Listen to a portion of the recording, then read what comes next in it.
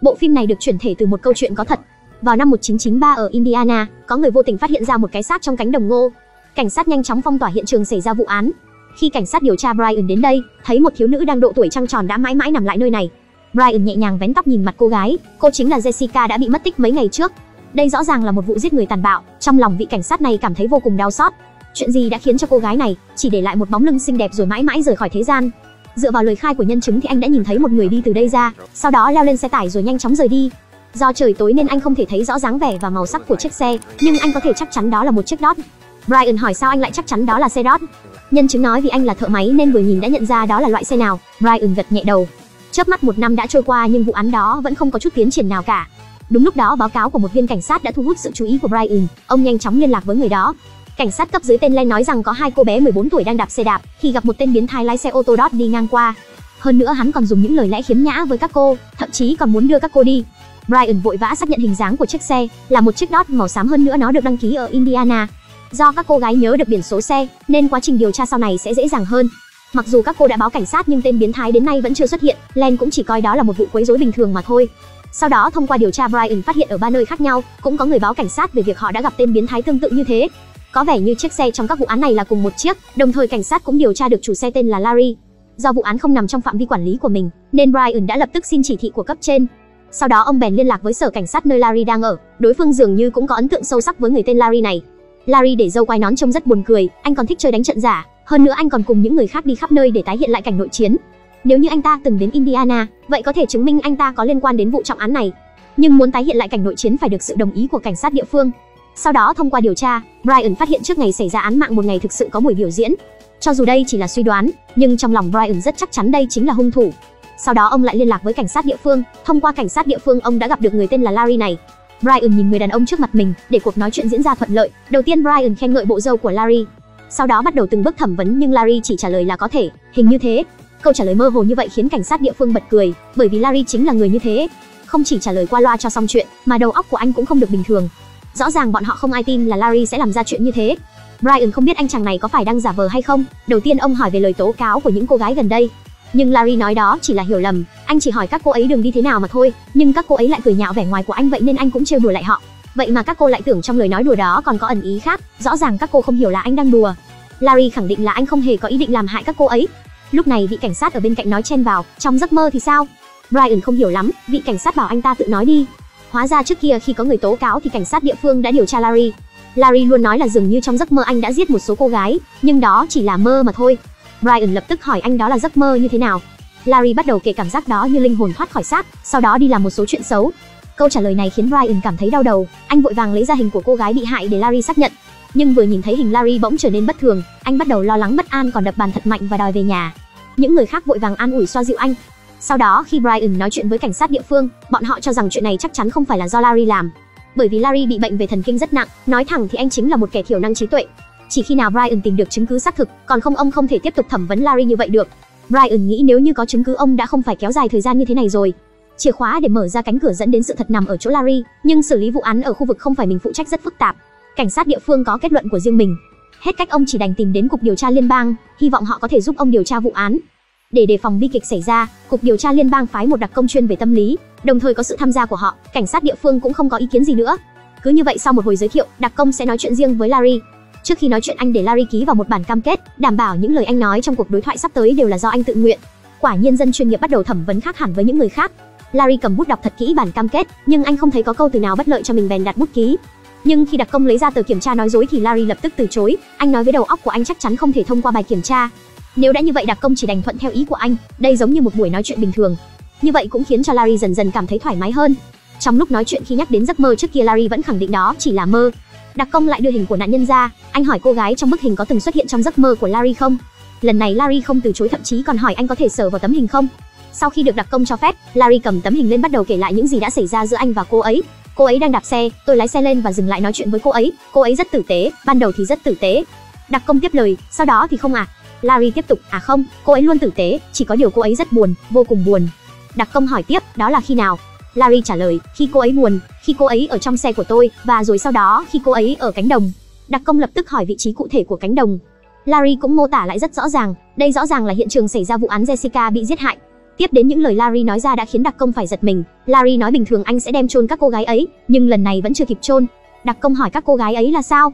Larry nói là những cô gái trong mơ của anh. Larry nhìn vào tay mình, có lẽ hai bàn tay không đủ để cho anh ta đếm. Sau đó anh lại tiếp tục mô tả. Dường như Larry đã mở lòng mình ra bắt đầu mô tả chi tiết một trong những vụ án. Sau khi giết chết cô gái ấy, do Larry làm hư dây chuyền của cô, nên anh đã gấp lại ngay ngắn quần áo của cô để lại hiện trường. Và quá trình gây án mà Larry vừa mô tả, hoàn toàn trùng khớp với hiện trường của một vụ án khác. Đây đều là những bí mật chưa được công khai. Vậy mà Larry lại có thể mô tả rất chính xác, rõ ràng đây không phải là một vụ giết người bình thường. Larry cũng không đơn giản chỉ là một hung thủ, mà là một kẻ giết người liên hoàn điên cuồng và mắc bệnh tự kỷ. Cảnh sát lập tức phái người đến lục soát nhà của Larry, đồng thời đặc công cũng ghi chép lại sơ bộ tờ khai nhận tội của vụ án. Nhưng khi để Larry ký tên anh đột nhiên lại phủ nhận. I didn't do that. I didn't. Yeah, but you did, Larry. You did. No wonder why I can't sleep at night. Larry đặt bút ký tên, phía cảnh sát sẽ nhanh chóng đưa vụ án mạng này ra tòa. Nhưng khi điều tra nhà của Larry, họ không phát hiện ra bất kỳ chứng cứ phạm tội nào. Theo như kết quả kiểm tra của cán bộ giám định, xe của Larry đã được xử lý bằng một chất đặc biệt. Brian cũng tìm được người anh trai song sinh của Larry là Gary, đúng vậy họ thực sự là anh em sinh đôi. Bởi vì trước khi ra đời Gary đã hấp thu hết dưỡng chất trong bụng mẹ, dẫn đến sau này họ càng ngày càng khác nhau. Trong mắt người ngoài thì Gary cao to đẹp trai còn thông minh, Larry vừa xấu xí lại ngu dốt. Nhưng Gary rất bảo vệ anh trai, anh không tin là anh trai mình có thể làm ra chuyện đó. Đồng thời anh còn nghĩ rằng vì cảnh sát muốn nhanh chóng kết án, nên đã thao túng tâm lý người anh trai có đầu óc không bình thường của mình và ép Larry nhận tội. Khi Brian trở về, ông xem được buổi họp báo của cảnh sát địa phương trên TV. Trong buổi họp báo, ông ta nói thông qua sự cố gắng của nhân viên điều tra đang đứng phía sau ông, cảnh sát đã bắt được hung thủ vụ án giết người liên hoàn. Sau khi xem xong, Brian cảm thấy đám người này rất biết cách cướp công lao của người khác. Sáng sớm ngày hôm sau Brian đích thân đưa Larry đi, bởi vì ông là người phụ trách chính của vụ án này. Để đề phòng có chuyện ngoài ý muốn xảy ra, ông quyết định tự mình đưa Larry đến hầu tòa. Trên đường đi, Brian vừa lái xe vừa hỏi tại sao Larry lại làm như thế. Ông còn suy đoán liệu có phải do anh mắc bệnh nên mới vậy. Nhưng lúc này Larry đột nhiên phủ nhận, anh nói là cảnh sát bắt anh làm giả lời khai. Hơn nữa em trai đã mời luật sư giúp anh, cho tới khi luật sư đến anh sẽ không nói bất cứ điều gì với Brian. Sau đó Larry ngồi hát một mình giống như một kẻ bị tâm thần. Brian không biết phải làm sao với trường hợp này, nhưng chỉ cần có thể kết tội anh ta là được rồi. Nhưng trên tòa, dựa vào chứng cứ phía luật sư của bị cáo đưa ra, thẩm phán cho rằng Larry bị bệnh về thần kinh rất nặng, vì vậy tâm trí của anh rất dễ bị ảnh hưởng bởi người khác. Hơn nữa cảnh sát thẩm vấn trong lời thú nhận ban đầu của anh ta, được các đồng nghiệp mô tả lại là có dấu hiệu đe dọa Larry. Larry ở trên tòa cũng đã phủ nhận chuyện phạm tội. Do lời khai rất chi tiết cùng với chữ ký của Larry là chữ in hoa, đã chứng minh chuyện Larry lúc ký đang căng thẳng, nên thẩm phán đã chấp nhận lời kháng cáo của bị cáo. Một tháng sau nếu như cảnh sát không thể cung cấp các chứng cứ khác xác thực hơn, Larry sẽ được phán vô tội và được thả ra. Nhưng trong một tháng này, Larry sẽ tạm thời ở trong trại giam dành cho phạm nhân tâm thần. Sau đó cục điều tra liên bang cho rằng chắc chắn Larry là kẻ tình nghi của vụ án giết người hàng loạt. Nhưng trong tình huống này muốn tiếp cận Larry là chuyện không thể, mà trong vòng một tháng phải tìm được chứng cứ cũng không dễ thực hiện được, trừ khi họ có thể moi được vị trí chôn cất nạn nhân từ chỗ Larry. Nhưng việc này không thể để cảnh sát thực hiện được. Một là do Larry sẽ có tâm lý đề phòng, hai là khiến thẩm phán cho rằng cảnh sát đang đe dọa bắt anh ta nhận tội. Vậy người làm việc này phải là người không liên quan gì đến vụ án giết người liên hoàn này. Cứ như vậy, một người đàn ông tên là Jimmy đã lọt vào tầm mắt của cục điều tra liên bang. Lúc này Jimmy sau cả đêm chiến đấu đang bổ sung dinh dưỡng, thuận tiện đứng ngắm cô người yêu đang ngủ say. Nhưng đột nhiên một nhóm cảnh sát phá cửa xông vào, bọn họ xông thẳng đến chỗ Jimmy ấn chặt anh xuống đất. Đồng thời một lượng lớn chất cấm và vũ khí đã được tìm thấy ở nhà anh. Người phụ trách bắt Jimmy cười nhạo anh rằng, tội này không được giảm nhẹ đâu đấy. Jimmy lại tỏ ra vô cùng bình tĩnh, cho dù phải vào tù cũng chẳng sao cả vì bố của anh là cựu cảnh sát, anh tin chắc bố anh sẽ không bỏ mặc anh. Sự thật đúng là như thế, không lâu sau bố anh đã đưa một vị luật sư đến gặp anh. Thông qua cuộc nói chuyện với bố, Jimmy biết được rằng lần này cục điều tra liên bang quyết tâm trừng trị anh, bố bảo anh hãy chuẩn bị tâm lý. Jimmy ngơ ngác không biết tại sao đột nhiên cục điều tra liên bang lại làm như thế. Bố hy vọng Jimmy nhận tội, bởi vì chỉ có như thế ông mới có thể dựa vào quan hệ để xin cho Jimmy phải chịu hình phạt nhẹ hơn. Jimmy hỏi nếu như bị phán quyết thì đại khái anh phải bóc bao nhiêu cuốn lịch. Bố anh bất lực nói do số súng bị phát hiện trong nhà anh, nên ít nhất anh cũng phải bóc hết bốn cuốn lịch. Nghe đến đây trong lòng Jimmy rối bời, nếu đến bố cũng không giúp được mình xem ra lần này anh thực sự toi rồi. Nhưng 4 năm tù anh vẫn có thể chấp nhận được. Khi thời gian thăm nom sắp hết bố vẫn hết lời khuyên Jimmy nhận tội. Ngày hôm sau trên tòa Jimmy đứng ở vị trí bị cáo, thẩm phán hỏi anh có ý kiến gì với khởi tố của phía cảnh sát không? Jimmy nói không, thẩm phán lập tức khích lệ anh chịu nhận tội là một quyết định rất đúng đắn.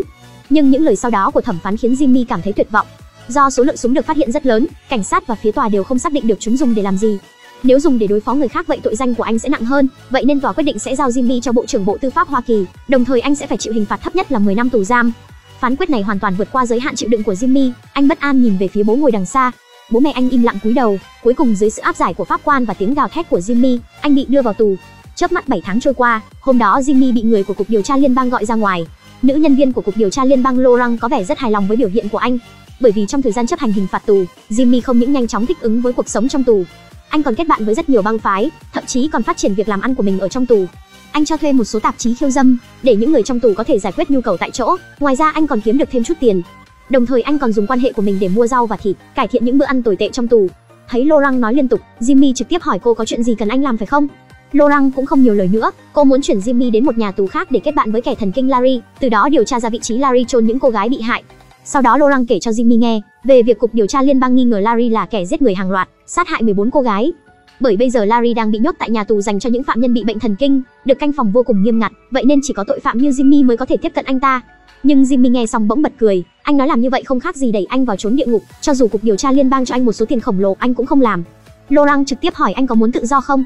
Chỉ cần anh có thể hoàn thành nhiệm vụ lần này và tìm ra vị trí chôn những người bị hại thì anh sẽ có được tự do. Rõ ràng lời đề nghị này có sức hấp dẫn cực lớn, Jimmy im lặng nhìn hai người họ nhưng cuối cùng anh vẫn từ chối. Cuộc sống hiện tại của anh vẫn rất ổn, tại sao anh phải đến địa ngục để làm bạn với ác ma chứ? Laurent biết phải đối phó với loại người này như thế nào, cô lập tức nói cơ hội chỉ có một thôi, và người được chọn không chỉ có mình Jimmy. Anh có thể dùng hơn 9 năm còn lại để hối hận, vì sao khi ấy lại từ chối lời đề nghị của cô. Nhưng trước khi đi Laurent vẫn để hồ sơ lại cho Jimmy để anh suy nghĩ thật kỹ. Đến tối Jimmy nằm lăn qua lăn lại vẫn không ngủ được, anh bèn lấy hồ sơ ra và bắt đầu đọc nội dung bên trong.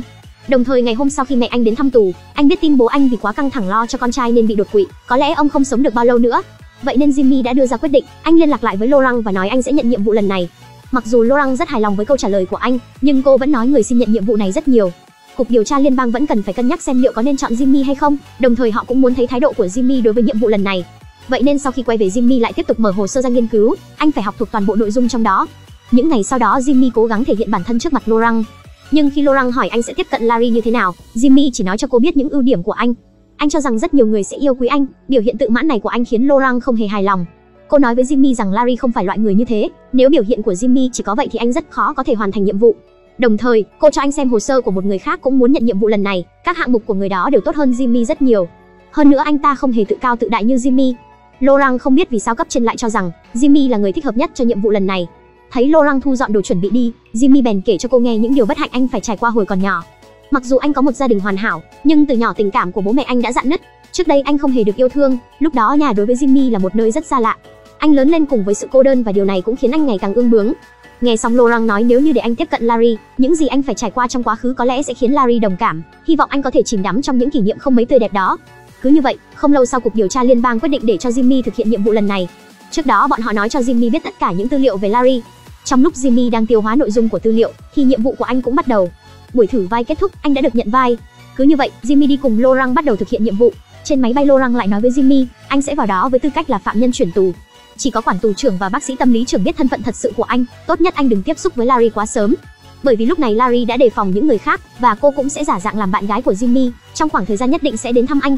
Nhưng tốt nhất Jimmy ở trong tù ngoan ngoãn chút đừng gây chuyện.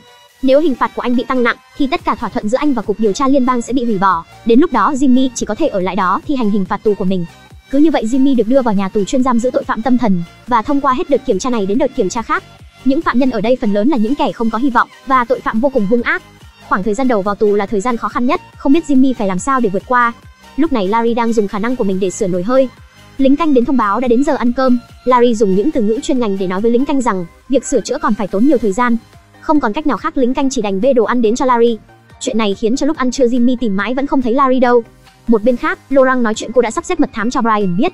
Để chuyện này không bị lộ, cô hy vọng Brian sẽ tiếp tục cùng cô điều tra vụ án các cô gái bị giết hại. Khi màn đêm buông xuống, Larry kết thúc một ngày làm thợ sửa chữa của mình, anh chậm chậm đi vào trong phòng. Jimmy cũng lén đi ra cửa, cả hai người chỉ cách nhau một phòng giam. Từ đây cuộc chiến giữa cái thiện và cái ác chính thức mở màn. Trong nhà tù đâu đâu cũng thấy những kẻ cặn bã, một kẻ xấu đang thực hiện nhiệm vụ bí mật, làm sao có thể có được sự tín nhiệm của tên sát nhân liên hoàn. Lúc này Jimmy im lặng đứng nhìn người đàn ông ở phòng đối diện, cho dù anh tìm bao nhiêu cơ hội để chào hỏi, Larry vẫn không thèm để ý đến anh, mà anh cũng không được phép quá vồ vập. Thời gian của Jimmy chỉ có một tháng, anh không những phải lấy được vị trí chôn những người bị hại, anh còn phải đối phó với các mối nguy hiểm có thể ập đến bất cứ lúc nào. Bởi vì chỉ cần không cẩn thận, ai thấy anh ngứa mắt sẽ âm thầm đâm cho anh một phát, và lính canh cũng sẽ giả vờ như không thấy gì. Hôm đó vài phạm nhân đang ở trong phòng xem TV, bỗng nhiên một người đàn ông râu ria rậm rạp đi vào phòng. Với dáng vẻ mày biết bố mày là ai không? Hắn ngang ngược chuyển sang kênh hắn muốn xem.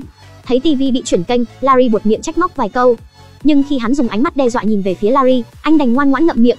Nhìn thấy cảnh này thì Jimmy thầm nghĩ cơ hội đến rồi, anh nhẹ nhàng đi đến chuyển về kênh cũ. Tên râu ria rậm rạp thấy anh không coi hắn ra gì tức giận bắt Jimmy đổi lại kênh. Cảm giác áp bức mà Jimmy phải chịu trong khoảng thời gian này, cuối cùng cũng được bộc phát ra. Anh vung nắm đấm nện thật mạnh vào mặt đối phương cho đến khi bị lính canh kéo đi. Cứ như vậy Jimmy bị nhốt nguyên một ngày không được ra ngoài. Đến khi anh được quay về phòng giam, Larry bỗng nhiên chủ động bắt chuyện với anh, Jimmy cũng nhân cơ hội giới thiệu bản thân. Để thân thiết hơn với Larry thì Jimmy đã phải dùng đủ mọi chiêu trò. Đúng vào lúc này lính canh đi đến. Hóa ra bố biết chuyện của Jimmy, vì lo cho con nên đã nhờ vả khắp nơi để được đến thăm con. Không ngờ Jimmy dùng vỏ bọc là mẹ anh một mình nuôi anh lớn lên, để vào trong nhà tù này. Hành động này của bố anh đã khiến cho lính canh biết được, thân phận thật sự của anh là con trai của cảnh sát. Nếu như chuyện này bị truyền ra ngoài Jimmy không những không thể tiếp cận Larry, còn có thể bị những tội phạm nguy hiểm nhắm đến. Quả nhiên bố của anh vừa rời đi chưa được bao lâu, lính canh phụ trách chăm nom đã đe dọa Jimmy. Anh ta nói nếu muốn anh ta không tiết lộ ra ngoài, vậy phải xem biểu hiện của Jimmy như thế nào. Rõ ràng anh ta đang đòi một số tiền bịt miệng. Để tránh anh ta làm hỏng chuyện của mình thì Jimmy chỉ đành miễn cưỡng đồng ý. Những ngày sau đó, Jimmy và Larry dường như trở thành đôi bạn thân như hình với bóng. Thông qua khoảng thời gian tiếp xúc với nhau, Larry cho anh cảm giác giống như một kẻ bị thần kinh, ngốc nghếch khờ khạo. Nếu không phải anh biết chuyện từ trước, thì ai có thể ngờ đây lại là một tên giết người liên hoàn chứ? Nhưng nếu muốn moi ra bí mật của Larry, Jimmy bắt buộc phải trở thành bạn thân thật sự của anh ta. May mà biểu hiện của Jimmy không tồi, ít nhất bây giờ Larry vẫn tin tưởng anh. Hôm đó Larry đưa Jimmy đến chỗ anh sửa nồi hơi, hai người bỗng nhiên nói chuyện về phụ nữ. Sự hiểu biết của Larry về phụ nữ khiến Jimmy nhận ra, quả nhiên anh ta không ngốc nghếch như vẻ bề ngoài. Một bên khác, Brian và Laurent cùng nhau điều tra những vụ ám sát và mất tích trước đây. Họ muốn tìm ra những chứng cứ khác để chứng minh sự thật là Larry đã phạm tội.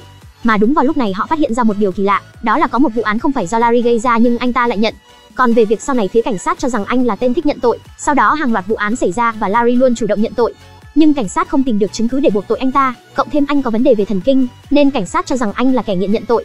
Brian xem xong hồ sơ nói rằng, anh có thể dùng cách này để khiến cảnh sát không còn nghi ngờ anh. Nếu đây chỉ là ngụy trang vậy anh đúng là một người rất ghê gớm.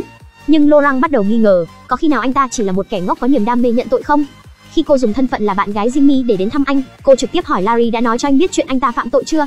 Jimmy nói vẫn chưa đến mức đó, sau đó anh nói cho Laurent biết chuyện lính canh đe dọa anh. Để tránh những phiền phức không đáng có, anh hy vọng cục điều tra liên bang có thể cung cấp cho anh chút kinh phí. Nhưng Laurent không đồng ý, đây không phải chuyện anh muốn là được, hơn nữa cô cũng đã bắt đầu nghi ngờ, liệu mình có đang điều tra nhầm người không? Nếu như Larry không phải là hung thủ mà họ muốn tìm thì sao? Jimmy nhận ra Laurent đang do dự, dựa vào cách nhìn nhận của Larry về phụ nữ, anh có thể chắc chắn rằng Larry chính là hung thủ. Laurent chỉ nói Jimmy nhanh chóng điều tra ra kết quả, bởi vì thời gian của anh không còn nhiều nữa. Lúc này nhân lúc mọi người đi ra ngoài hóng gió, Jimmy lén lút đi vào phòng của Larry, anh muốn tìm ra chút chứng cứ có liên quan đến vụ án. Chỉ thấy trên tường dán rất nhiều hình, đa phần là hình tái hiện lại cảnh chiến tranh trước đây Larry đã tham gia. Trên bàn cũng có rất nhiều sách liên quan đến các cuộc nội chiến, xem ra anh chàng này rất thích nghiên cứu về các cuộc chiến trong lịch sử. Jimmy tỉ mỉ kiểm tra xem nhưng anh không thấy manh mối nào có ích cả. Sau đó anh lại lục tìm dưới ga giường nhưng ở đây cũng chẳng có gì. Bởi vì không biết Larry sẽ về lúc nào, nên Jimmy quyết định xem nốt chồng tạp chí để sát tường rồi rời đi. Nhưng vừa cầm lên xem, Jimmy càng chắc chắn hơn Larry là hung thủ của vụ án giết người liên hoàn.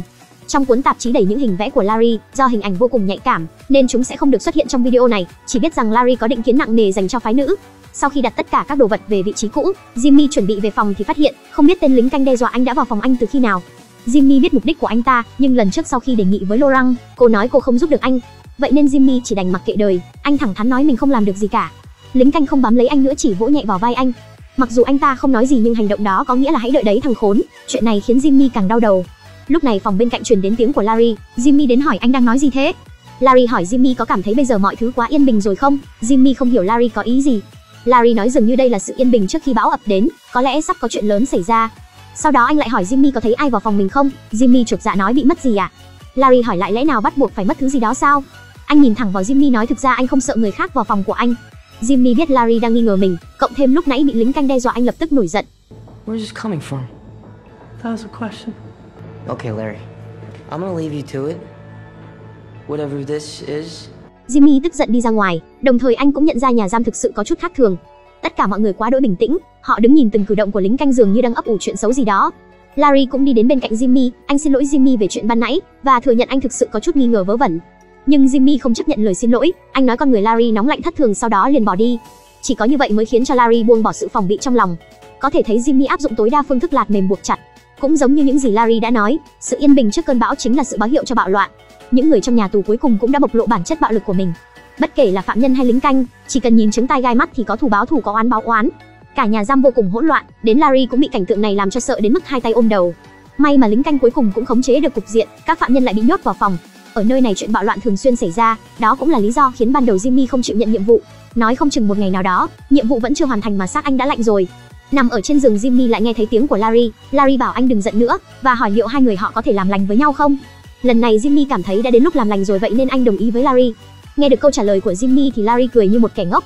Ngày hôm sau, tất cả các phạm nhân được gọi đến nhà ăn để dọn dẹp sạch sẽ. và nhiệm vụ chỉ huy mọi người dọn dẹp được giao cho Larry, có lẽ là vì trước đây anh từng làm nhân viên dọn vệ sinh. Mà lúc này Larry cũng thể hiện ra một mặt khác của mình, anh bình tĩnh và nhanh chóng phân công nhiệm vụ cho mọi người, sau đó mọi người bắt tay vào làm việc.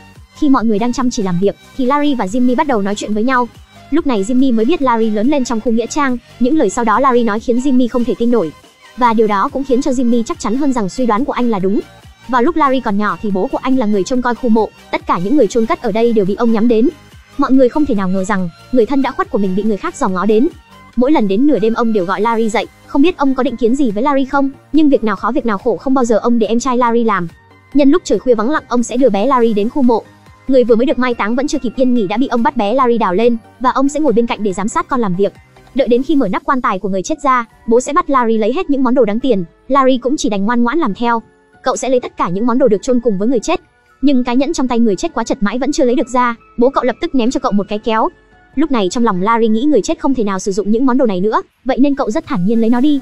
Cứ như vậy bé Larry dần lớn lên trong hoàn cảnh đó, và nội tâm của Larry cũng ngày càng biến thái hơn. Larry cứ như vậy không hề phòng bị, nói cho Jimmy biết những chuyện anh đã phải trải qua trong quá khứ. Jimmy buột miệng hỏi anh không cảm thấy sợ sao? Larry nói người chết rất tử tế nên bọn họ sẽ không kỳ thị, không coi thường, không cãi lại anh hơn nữa họ còn rất yên lặng. Chỉ cần nhìn vào mặt họ Larry sẽ cảm thấy ngập tràn hy vọng. Rõ ràng những lời này đã khiến cho Jimmy cảm thấy anh chàng này mắc bệnh không nhẹ, mà những lời Larry chuẩn bị nói còn khiến cho Jimmy cảm thấy tam quan bị sụp đổ. Larry nói trước đây có một cô gái vô cùng xinh đẹp, lúc còn sống cô là hình mẫu cao quý không thể nào với tới được. Nhưng đột nhiên có một ngày cô không cẩn thận bị ngã cầu thang gãy cổ, từ đó về sau cô không còn cao quý nữa. Sau khi mọi người dọn dẹp vệ sinh xong, Larry bắt đầu hỏi chuyện hồi nhỏ của Jimmy. Lúc này Jimmy nhớ lại lời của Laurent, chỉ có đồng cảm mới khiến anh ngày càng thân thiết với Larry hơn. Vậy nên Jimmy bèn kể tất cả những chuyện bất hạnh anh đã phải trải qua hồi còn nhỏ. May mà đây là những gì Jimmy thực sự đã trải qua, cộng thêm màn biểu diễn vô cùng xuất sắc, khiến cho Larry cũng bị kéo theo vào câu chuyện của anh. Larry bắt đầu cảm thấy căm hận bố mẹ của Jimmy, mà Jimmy cũng biết điểm dừng, anh để Larry cảm thấy dường như đang bị dắt vào sự đau khổ, sau đó liền quay người rời đi. Sau khi xong việc, Larry hỏi Jimmy rằng có khi nào anh muốn giết chết bọn họ không? Jimmy hỏi lại giết ai cơ, giết bố mẹ của anh sao? Larry nói giết tất cả mọi người. Jimmy vô cùng ngạc nhiên. Sau đó Larry bắt đầu bộc bạch, tôi ngâm miếng rẻ vào dung dịch khởi động và đặt nó vào một cái lọ mây sừng trên xe. Nếu ta phủ nó lên mặt người khác thì họ sẽ ngất sau vài giây mà không cần tốn sức. Jimmy hỏi Larry tại sao phải làm như thế. Larry nói chỉ có như thế các cô ấy mới không đánh anh nữa. Jimmy lại tiếp tục hỏi các cô ấy là ai. Larry trả lời, những cô gái tôi đã gặp. Không lâu sau Gary vào tù thăm Larry, anh nói gần đây cảnh sát thường xuyên đến nhà họ điều tra, cảnh sát vẫn muốn tìm ra chứng cứ để kết tội Larry. Nghe tới đây Larry nói, nếu cảnh sát thường xuyên đến như vậy có nghĩa là anh sắp được ra tù rồi. Rốt cuộc phạm nhân như thế nào, lại có thể khiến cho gián điệp của cục điều tra liên bang phải khóc nức nở, hơn nữa anh còn không dám khóc thành tiếng. Chuyện này phải bắt đầu kể từ ban ngày. Jimmy đang chuẩn bị ra ngoài hóng gió, vừa đi ra khỏi phòng anh đã cảm thấy mọi thứ hôm nay rất lạ. Tất cả phạm nhân đều nhìn chằm chằm vào anh, trong mắt họ hiện rõ thái độ không hề thân thiện. Anh vừa đi đến nhà ăn thì các phạm nhân đang ăn đồng loạt dừng lại, sau đó nhìn chằm chằm vào anh, anh lúc này giống như một tên cặn bã bị tất cả mọi người căm ghét. Đi ra đến bên ngoài, có lẽ Jimmy đã hiểu ra chắc chắn trong nhà tù này có người muốn đối phó anh.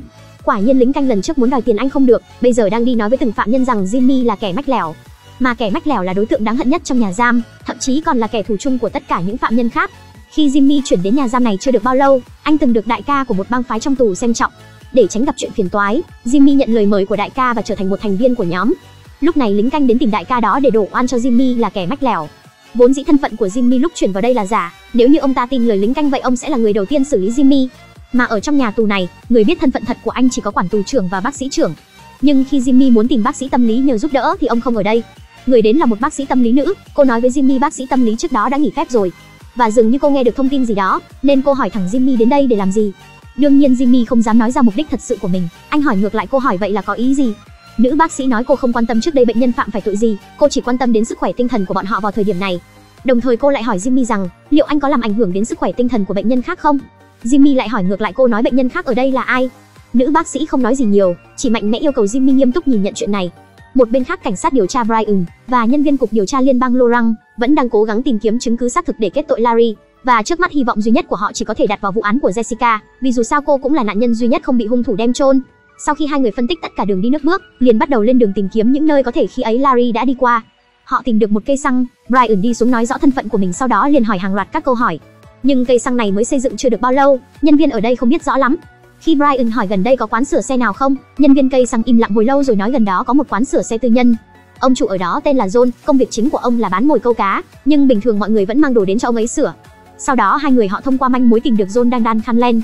Brian trực tiếp lấy hình của Larry đưa cho John xem, Vừa thấy bức ảnh ông đã nhận ra đó là Larry, ông nói với hai người rằng ông từng bán cho Larry một cặp roto phanh có rãnh.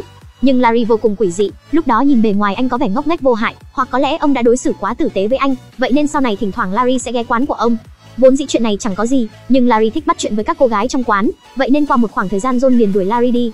Và nguyên nhân chủ yếu của việc này chính là Larry trêu chọc con gái của John, chuyện này khiến ông vô cùng khó chịu. Laurent vội vã hỏi liệu cô có thể nói chuyện với con gái của ông không, John đồng ý. Sau đó hai người liền tìm gặp con gái của John. Theo như lời cô bé kể, lúc đó Larry dường như rất thích cô, chuyện này cũng khiến cho cô cảm thấy vô cùng khó chịu. Đặc biệt là Larry thích nhìn chằm chằm vào người cô, có lẽ rất nhiều cô gái ở xung quanh đây cũng bị Larry dọa sợ, không ai dám đến gần Larry. Lúc đó Larry bắt đầu tặng quà cho cô. Brian hỏi món quà đó là gì vậy? Cô nói những món quà đó hầu như là đồ người khác dùng rồi ví dụ như dây chuyền, giày vân vân. Brian tiếp tục hỏi cô còn giữ những món đồ đó không? Cô bé trả lời hầu hết những món quà đều bị cô ném đi rồi.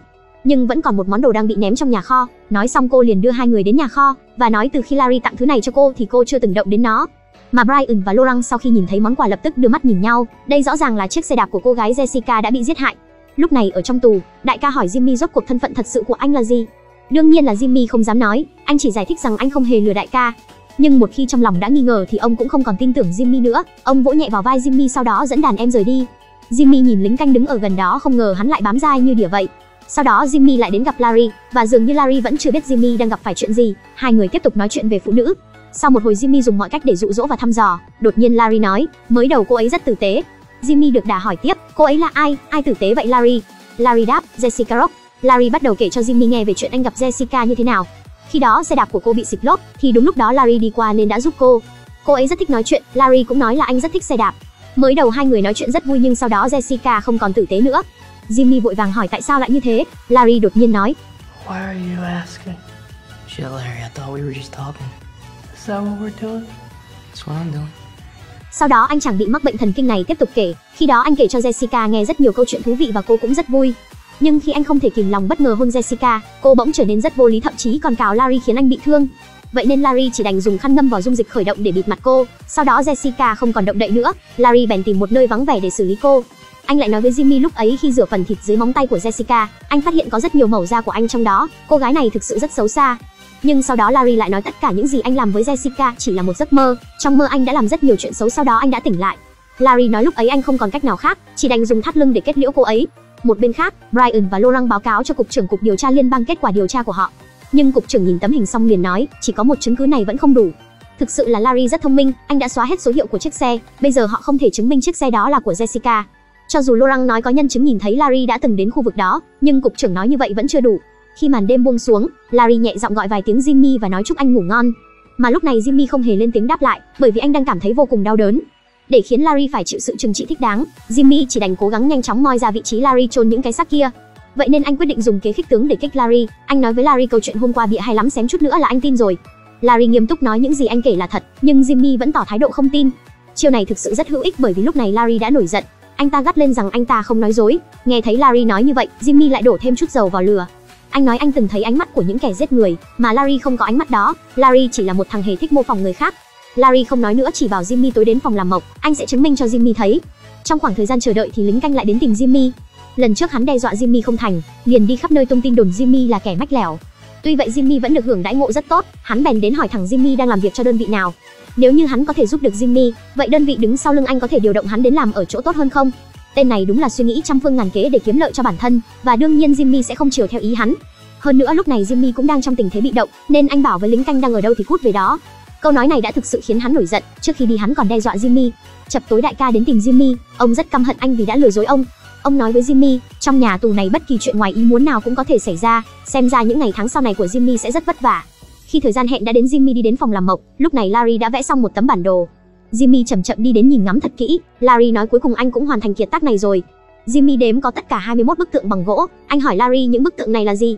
Larry cầm đại một bức tượng lên đưa cho Jimmy, lúc này tấm bản đồ bị quấn lại. Jimmy cầm bức tượng không rõ nó để làm gì.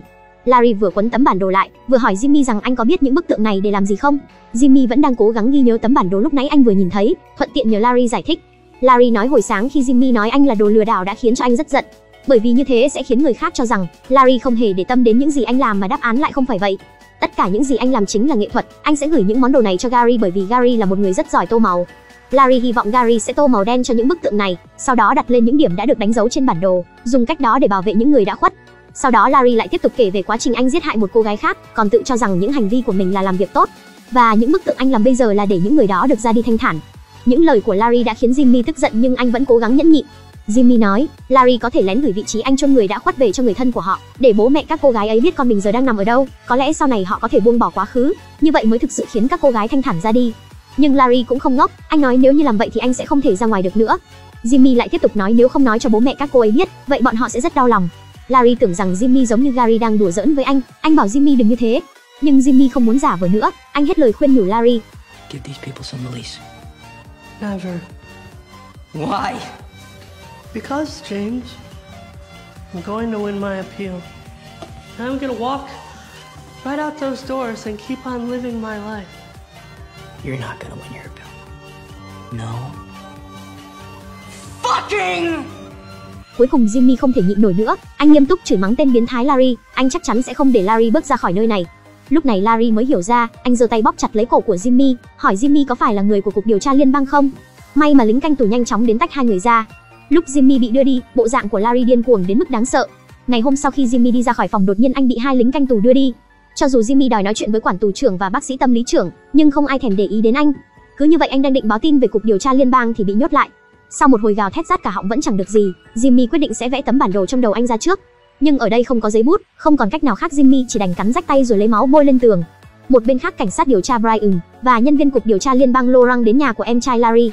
Sau một hồi nói chuyện, họ cũng biết được một số ít chuyện Larry đã phải trải qua hồi còn nhỏ. Có lẽ do những chuyện bất hạnh đó, khiến Larry ngày càng trở nên kích động và biến thái. Khi Gary kể lại mọi chuyện, anh cũng nói rằng do anh không quan tâm chăm sóc tốt cho Larry. Cho dù biết anh trai mình có lúc làm sai nhưng anh không kịp thời ngăn cản. Đây cũng là lần đầu tiên Gary tỏ vẻ ăn năn hối hận, nhưng anh vẫn không tin Larry giết hại nhiều người như thế. Cũng không biết qua bao lâu cuối cùng Jimmy cũng được đưa ra ngoài, hóa ra là bác sĩ tâm lý trưởng đã đi làm lại. Anh xin lỗi Jimmy, ngay cả Laurent cũng chạy đến, nhưng vừa gặp Jimmy đã hỏi mượn bút. Sau đó anh bắt đầu nhanh chóng vẽ lên bàn, không lâu sau tấm bản đồ trong trí nhớ của anh đã được vẽ ra. Anh nói với Laurent đó là vị trí chôn những cái xác, tổng cộng có 21 cái. Những người khác nhìn thấy tấm bản đồ này cảm thấy vô cùng kinh ngạc. Cứ như vậy một lần nữa Jimmy lại bị đưa ra hầu tòa, và lần này anh được miễn toàn bộ hình phạt, cuối cùng cũng được trả tự do. Sau đó Brian cảm ơn Jimmy vì những hy sinh cố gắng của anh, nhưng Jimmy cũng nhận được tin là những cái xác vẫn chưa tìm thấy. Laurent nói ít nhất là sau này sẽ không còn ai bị làm hại nữa. Jimmy không nói gì nữa quay đầu rời đi. Trên một phiên tòa khác, mặc dù không tìm được những cái xác, nhưng tất cả những chi tiết được Larry miêu tả, khiến thẩm phán cho rằng điều này chỉ có hung thủ mới biết được. Cộng thêm báo cáo về nhân chứng và chứng cứ do gián điệp thu thập, thẩm phán ra quyết định phán quyết của tòa án hình sự được giữ nguyên, kháng cáo không thành công. Cứ như vậy Larry phải quay về nhà tù sống nốt quãng đời còn lại của mình. Sau khi nhận được phán quyết, Larry định tìm đến cái chết nhưng không thành. Được em trai Gary khuyên nhủ, cuối cùng Larry đã nói ra nơi chôn tất cả các cô gái. Bộ phim này được chuyển thể dựa trên câu chuyện có thật. Jimmy ở ngoài đời cuối cùng đã quyết định giúp đỡ cơ quan hành pháp để phân tích tâm lý của những tên sát nhân giết người liên hoàn. Trên đây là toàn bộ nội dung của bộ phim Blackbird.